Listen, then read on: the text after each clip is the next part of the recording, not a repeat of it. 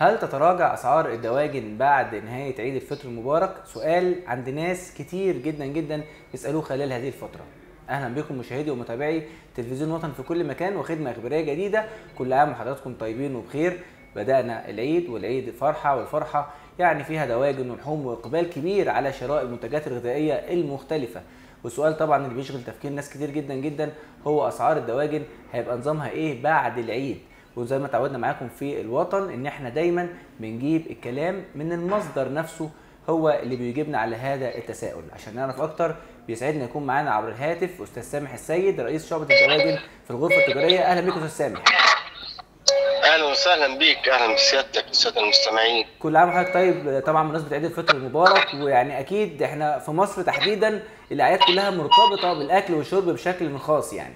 ولكن بما بنتكلم على الدواجن وكان فيها كلام كتير خلال الشهور اللي فاتت. إيه التوقعات الخاصة بأسعار الدواجن بعد نهاية العيد إن شاء الله؟ لا هو إن شاء الله أسعار الدواجن مستقرة في السوق الفترة الحالية. وإحنا بننتج واحد وخمسة من عشرة مليار دجاجة سنويا. والإفرادات الجمركية اللي تمت الفترة الماضية كانت تكفي بزيادة المعروض. تمام. وبدخول الدواجن المجمدة البرازيلي في خلال شهر رمضان دي عملت عملية استقرار السوق الخاص بالدواجن في مصر. تمام. وفي بعض المقترحات اللي تم مناقشتها وكان في اجتماع مع السيد مساعد أول وزير التموين الدكتور إبراهيم العشماوي بطرح الدواجن على البورصة السلعية المصرية وضم أيضا الأعلاف على منصة البورصة السلعيه المصرية.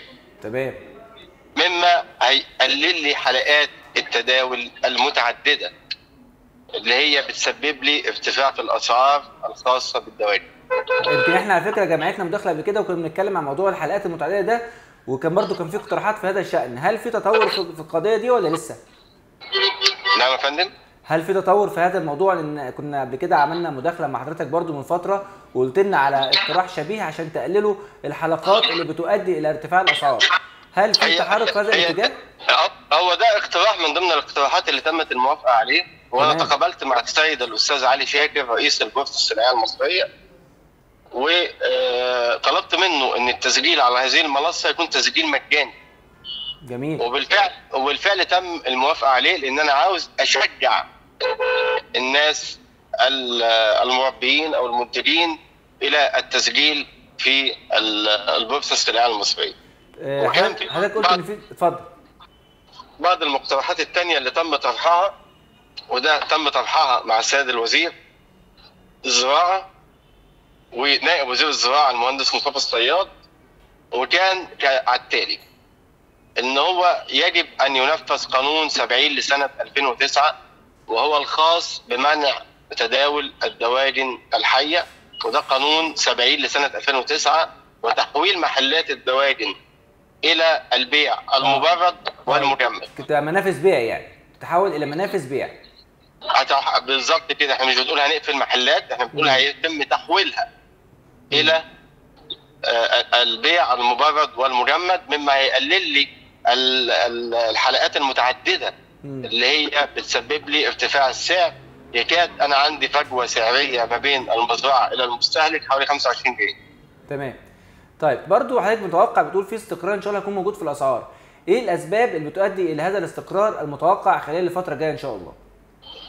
لا المعروض عندنا موجود من الدواجن الأسعار الفترة القادمة يعني هتبقى ثابتة وأتمنى إن هي تبقى ثابتة على كده لأن أنا مش عاوز طبعا أضر المستهلك أو المنتج أو المربي لأن لازم أشجعه إن يدخل في دورات جديدة. جميل. هل هل متوقع الفترة الجاية تتغير الأسعار مرة ثانية أو ممكن تنخفض أكتر خلال الفترة الجاية خصوصا في ظل إن في الدواجن البرازيلية موجودة في السوق؟ لم يتم زيادة الأسعار الفترة القادمة. تمام يعني ده خلاص ده قولا قولا واحدا آه بل سيحدث استقرار في الدواجن الفترة القادمة وتم افراج جمركيه على كمية من الاعلاف بحوالي 90 مليون دولار. وأعلن عليها السيد الوزير وبالفعل دي هتعمل لي عملية زيادة في الإنتاج أكتر.